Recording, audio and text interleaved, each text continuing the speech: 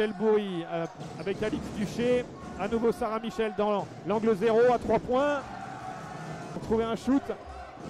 Ça va être Maëva, mais qui avait pas, elle n'avait pas le chrono en tête, je pense Maëva, mais on s'en sort bien. Dans le jeu d'écran porteur, quand on n'arrive pas à, à développer notre jeu collectif, on essaie de trouver de. bah, voilà, vous parlez de jeu collectif. Le- La sonnerie.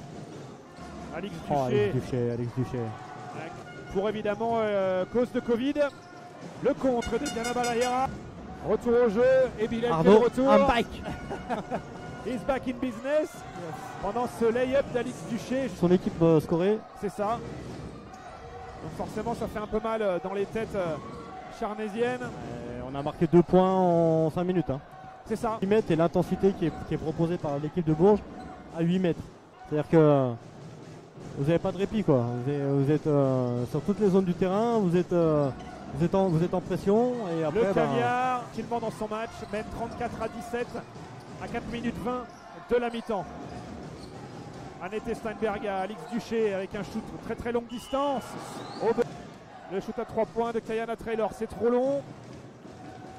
il faut revenir, faut revenir plus Et vite. la contre-attaque orchestrée, Alix Duché pour Sarah Bourri. Il faut pas le prendre ceci parce que sinon on retourne, à, Un peu, dans- un peu au large, ouais. on retourne aux 20 La points. passe pour Kayla Alexander. Le panier qui est accordé. Ouais, on est en retard, on est en retard sur les, sur les, sur les démarquages, les passes, elles arrivent. Artemis Panou, le N1. Le scénario de la fin de match. Vous verrez ça tout à l'heure. Allez, L'interception de Coralie Chaboyer. On est sur un temps fort là du CBBS, faut que ça se convertisse euh, en scoring, voilà. euh, avoir de l'orgueil. Avec un petit shoot à 4-5 mètres, ça rebondit sur l'arceau. Et le CBBS qui peut relancer la contre-attaque et se rapprocher un petit peu. Il avec ce faut la donner dur les filles. Voilà, toucher, plus près, plus près, contester les Ah, passes. le caviar, Ah ouais, c'est pour ça. Monique.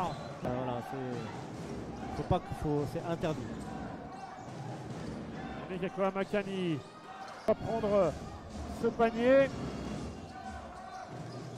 Kyle Alexander qui se retourne et au buzzer. Artemis Spanou.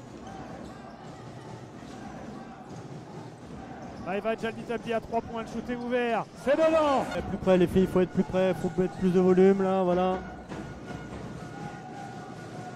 Artemis Spanou. C'est la première joueuse de Bourges à 3 fautes. hein.